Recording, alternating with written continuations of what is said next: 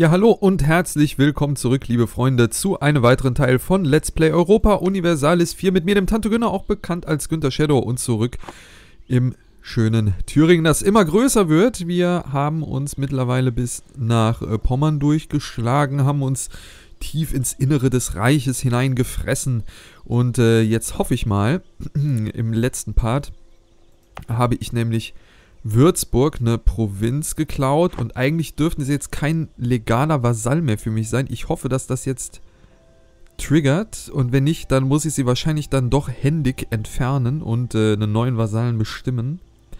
Aber die Hoffnung stirbt ja bekanntlich zuletzt.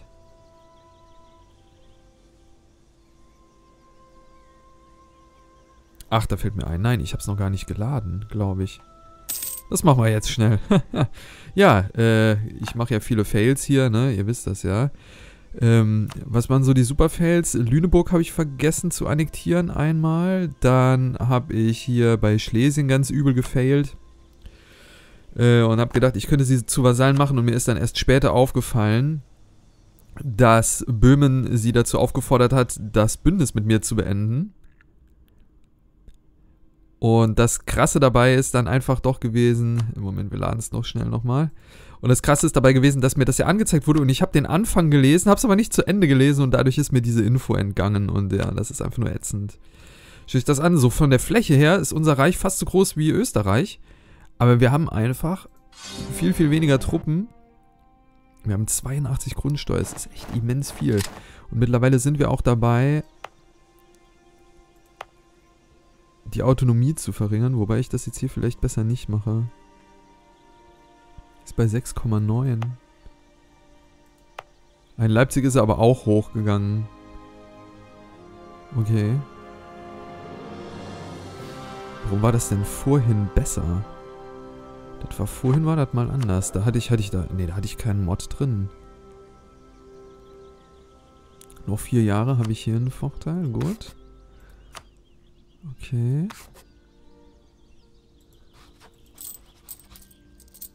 Ja. Ähm, die Rebellion in der Neumarkt, die haben wir im letzten Part niedergeschlagen. Das ist jetzt so alles soweit in Ordnung. Schicken es mit immer nach Leipzig. Immer nach Sachsen.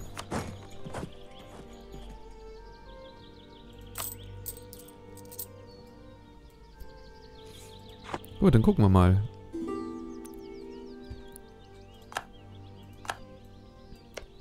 Frankreich verzichtet auf Ansprüche hinsichtlich Burgundien und tritt Kernprovinz Navarra an Kastilien ab.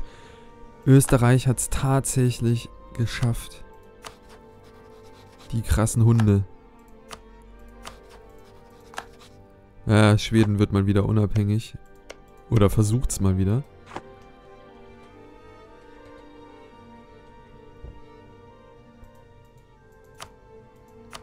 Das hat die ganz schön viele Reserven gekostet. Krass, aber Österreich hat noch 46 Regimenter. Das ist einfach noch sau viel.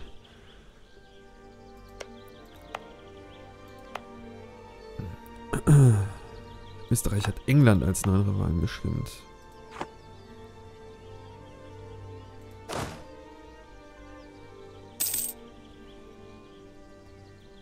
Okay, nee, ich krieg Würzburg nicht mehr als Rivalen raus. Aus irgendeinem Grund. Ich weiß nicht wieso.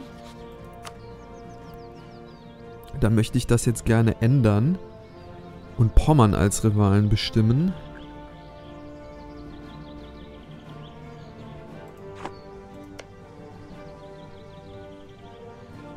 Ja.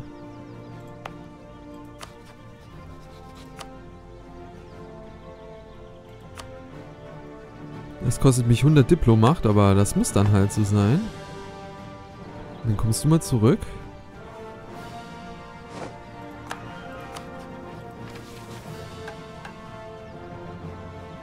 Sollte einen Anspruch auf Breslau fingieren. Okay.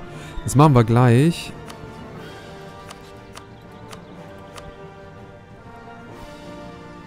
Am besten auf... Wenn ich auf Hinterpommern einen Anspruch fingiere, kann sein, dass Polen mich nicht mehr mag. Deswegen würde ich fast sagen... Vorder... Obwohl, ich kann auf Hinterpommern einen fingieren. für den Krieg ist das ja relativ uninteressant. Nehmen wir Vorderpommern erstmal.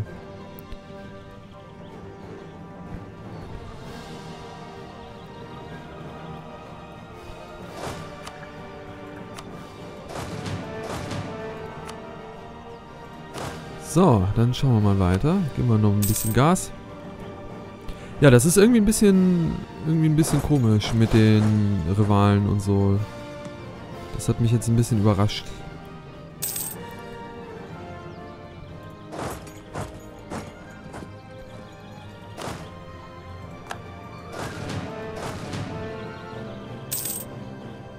Oh, warte mal. Die sind noch gar nicht äh, voll auf...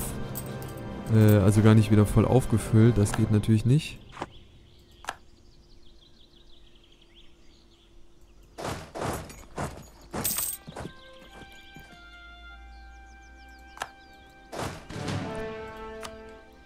Moment mal, haben wir jetzt einen Agenten entdeckt oder wurde unser Agent entdeckt? Ne, wir haben einen entdeckt, ne? Oder unser Agent wurde entdeckt.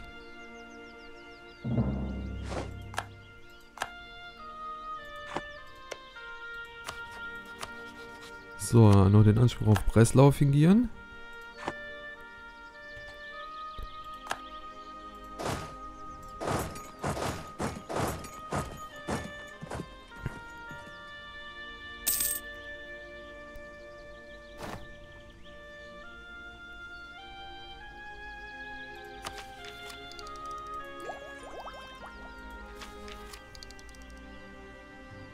Wir holen uns die günstigeren Regimentskosten.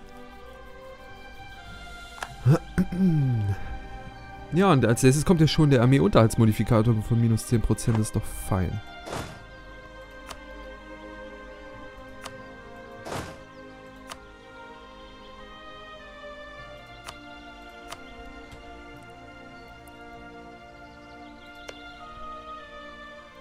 Hat noch Riga mit dazu genommen, okay. Auch schon ein bisschen weird, aber ich muss jetzt unbedingt hier einen Krieg führen, um Machtprojektion zu bekommen. Ich bin süchtig nach Machtprojektion. So, Pommern, jetzt schnall dich an. Und gib fein 8. Was der Günner gleich so aus dir macht. Hat 546 Schulden, die sind ja so gut wie bankrott. Polen hat einen Waffenstillstand. Der Hansebund, der hat Schulden, krass. Und Kriegsmüdigkeit, okay. Aber Böhmen und Riga müsste ich mittlerweile auch alleine packen, Krieg erklären.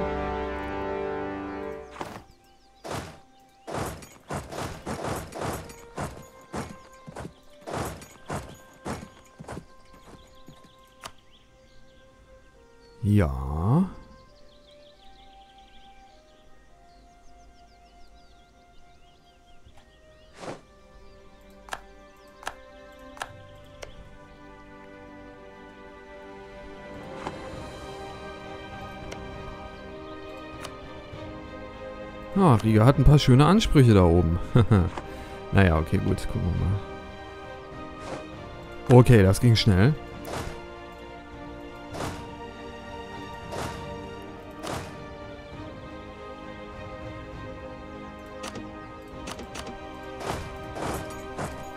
Nee, warte, will man das noch nicht jetzt?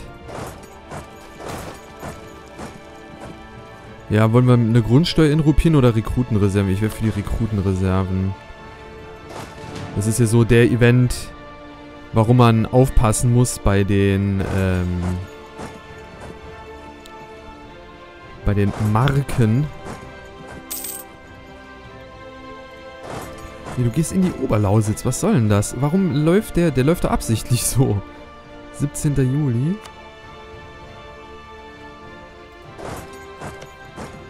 Terrain-Ebene. Kann ja nicht sein, dass sie das überleben, oder?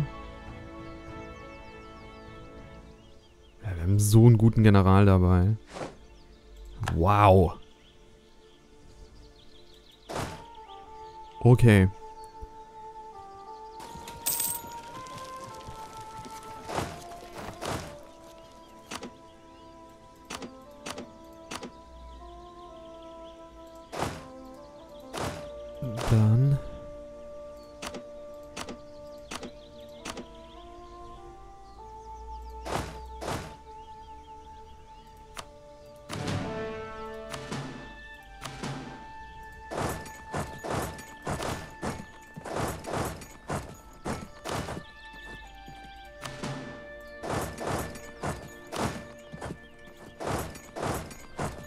Ist jetzt doof, dass ich jetzt im Krieg mit äh, Böhmen bin.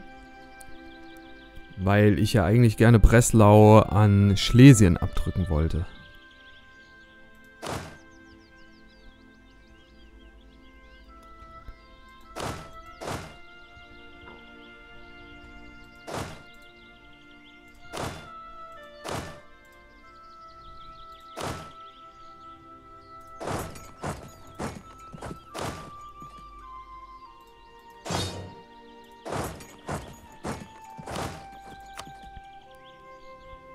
Nimm du mal ruhig den da mit. Obwohl, du läufst vielleicht noch einmal zurück.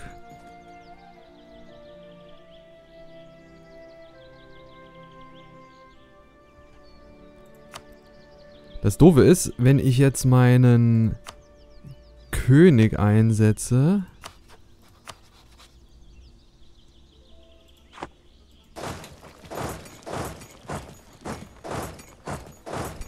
Ähm, lauf mal wieder dahin zurück. Das war gerade ein bisschen verpeilt, so ein Mist.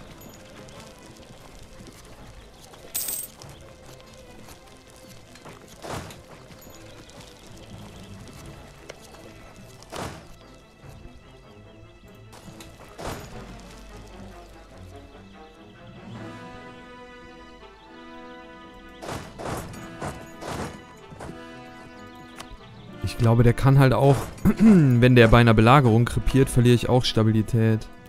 Das ist mir zu riskant, das will ich jetzt nicht ausprobieren. Ne, mach keinen Anführer draus.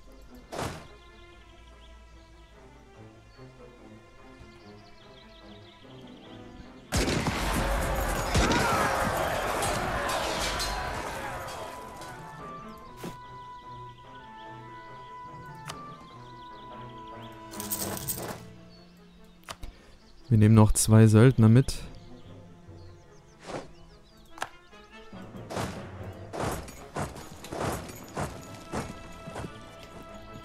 Die will ich ganz gerne hier unten reinstellen.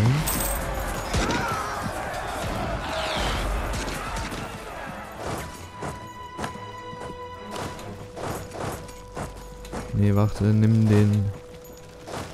Du gehst hier hin.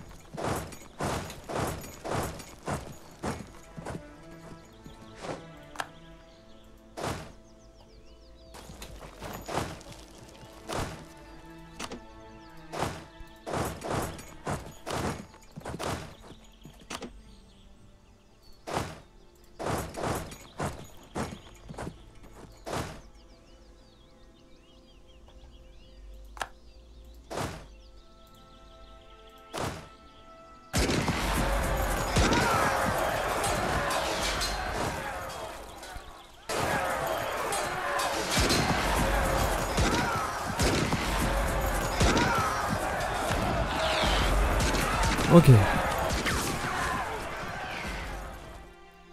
Da oben sind nur die Platzhalter, damit äh, Pommern hier keine Dummheiten veranstaltet.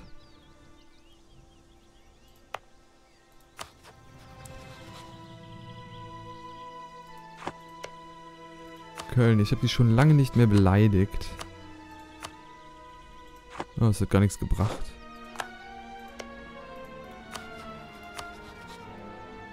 Und ich kann gegen Köln kann ich auch wieder Krieg führen, das ist sehr gut. Vor allen Dingen, weil die nur mit Frankfurt verbündet sind, das ist natürlich geil.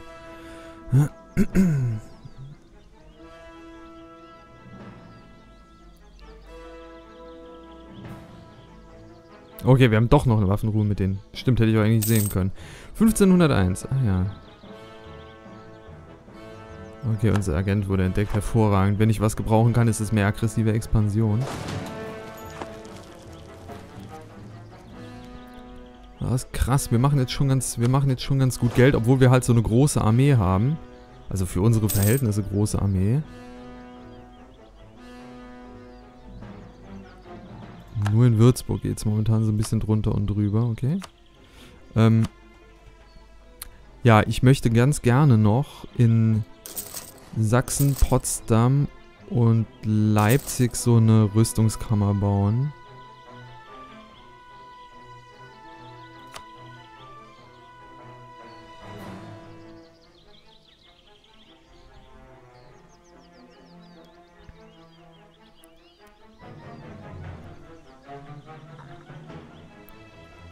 Ja, eine Mark würde sich unter Umständen auch noch lohnen. Die Frage ist nur, ich bin mir nicht, gerade nicht ganz so sicher, wie stabil unsere Grenzen hier so sind. Ähm...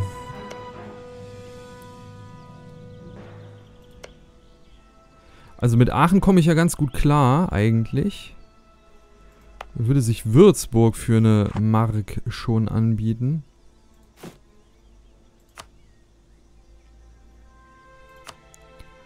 Sehr gut, so definitives rausgeschmissenes Geld. Der Tempel auch.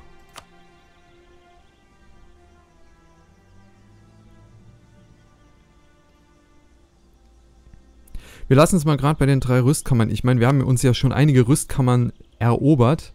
Das ist ja auch ganz gut. Wir haben den Stress damit nicht, ne, sondern wir können zugucken, wie die anderen für uns die Rüstkammern erobern, äh, bauen und dann können wir sie einfach erobern.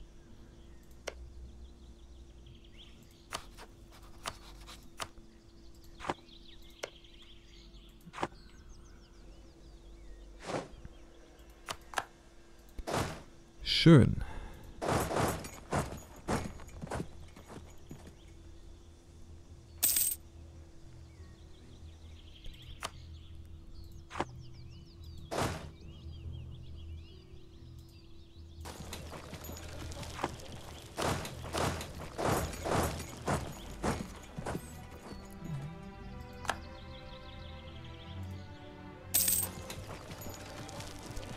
Brauche da oben natürlich noch eine Kanone irgendwann, aber wir können jetzt schon mal mit dem Belagern beginnen. Weil sonst dauert das so lange. Ich habe ja nichts hier, wo ich äh, blockieren kann. Wow. Krass, die haben echt witzig. Die haben den Hansebund dazu gezwungen, Sachsen-Lauenburg freizulassen. Aha.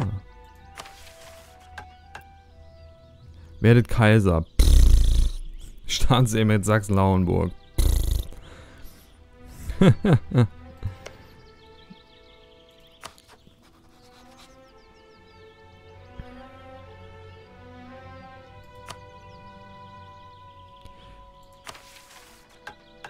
Was brauche ich noch, um Deutschland zu gründen? Mecklenburg, Braunschweig und Nürnberg. Okay. Mecklenburg, Braunschweig und Nürnberg. Ja. Wenn ich äh, Deutschland werde, wird dann meine aggressive Expansion zurückgesetzt.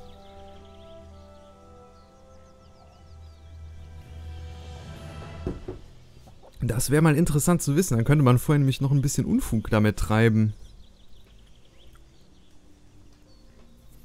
Naja, gucken wir mal.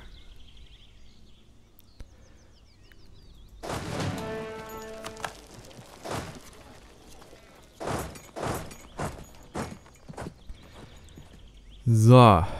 Ähm, ich glaube, dann können wir gleich schon Böhmen erniedrigen. Dafür kriegen wir aber... Doch, dafür kriegen wir voll, volle Punkte.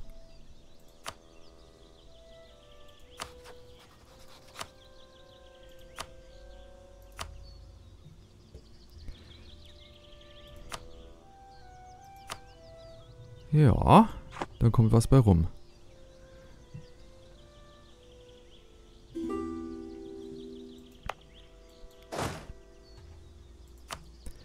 Schweden will Militärzugang. Okay, du bist im Krieg mit Dänemark, finde ich gut, weil das ist ja so der Gegner für meinen für meinen oder das war ja der Gegner für meinen heißgeliebten Hansebund. Fand ich nicht so schön.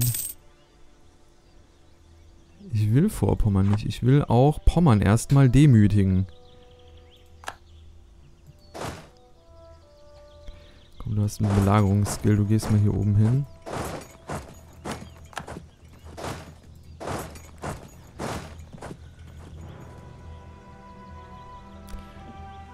Da sind die Mauern durchbrochen.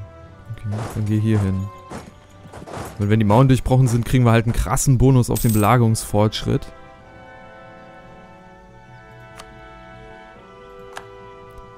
Anton Fischer, was für ein toller Name. Halt, stopp. Ach, da ist einer drin. Ach, und du hast... Ach, ich bin der... Ach, ich bin der Verpeilogünner in dem Let's Play hier. Das ist so schlimm. Verbessern die Beziehungen mit Schlesien.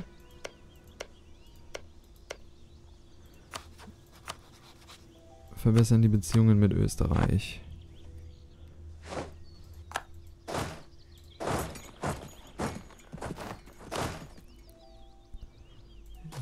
Riga spielt hier offenbar keine Rolle in dem in diesem Krieg. Deswegen würde ich sagen, greifen wir die gleich mal an. Oder müssen wir das? Ich weiß es noch nicht.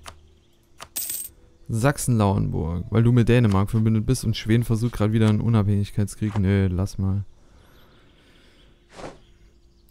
So, damit können wir jetzt einen Frieden mit Böhmen aushandeln. Ja, komm du mal wieder zurück.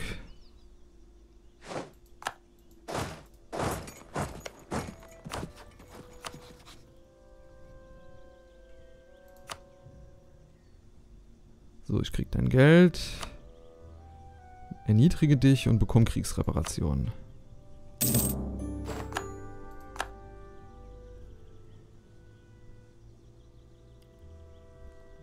Oh, echt? No, das ist schade. Dann nehme ich dich.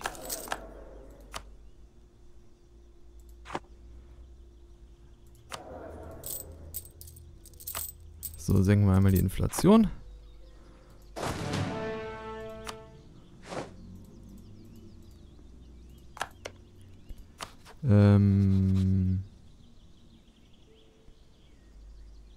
Verbessert. Ja, du verbessert. da bohrt jemand gerade aus heiterem Himmel irgendwo bei mir direkt unterm Zimmer. Okay. Äh, ich mach mal kurz Pause. So, ich bin wieder da. Beziehungsweise der Bohrer unten macht gerade offenbar eine Pause. Hat sich also nichts geändert. Wir machen weiter und holen uns vielleicht noch äh, gerade... Ah ne, Zugang haben wir ja schon, ne? Das müsste ja dann eigentlich schon gehen.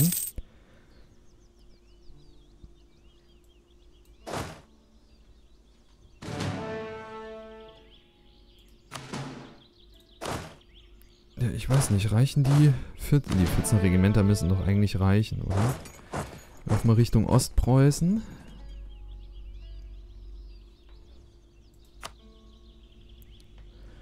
So, dann müssten wir auch gleich wieder auf 100 Machtprojektionen kommen, dann haben wir das auch wieder geschafft. Das wäre auf jeden Fall ein Vorteil. Kommen wir mal wieder zurück. So, haben wir mal bitte Militärzugang bei Litauen. Riesenverschwendung, aber... Nach Riga. Okay.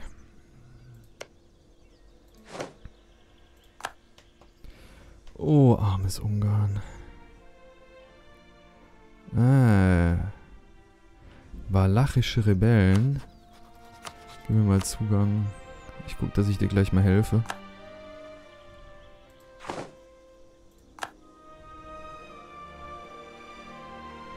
Hauen sie schon ab. Klasse.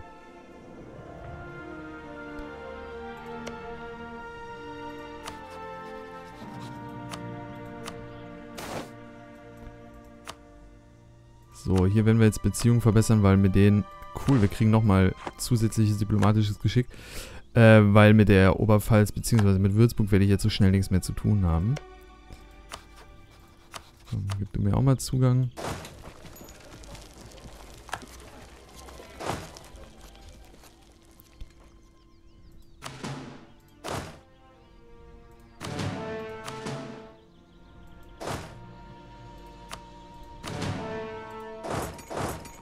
So, dann schauen wir mal. Kriege ich dich platt?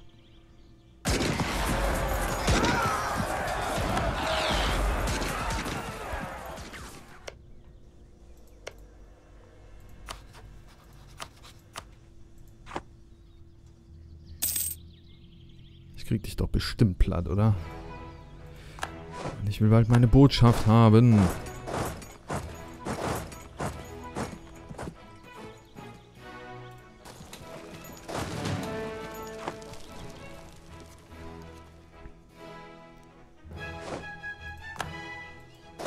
So, dann wäre Vorpommern gefallen, das ist gut. Äh, achso, nee, warte, du kannst den... Unseren King, den kannst du da noch drin lassen.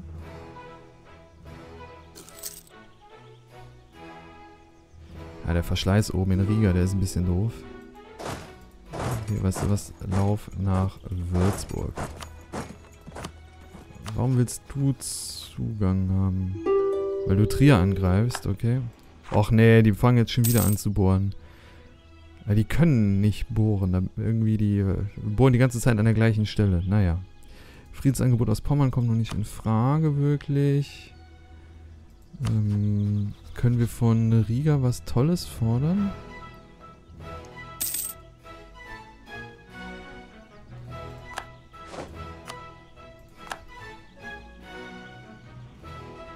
Ich könnte Kriegsreparationen fordern. Äh, ja, kurzer Cut.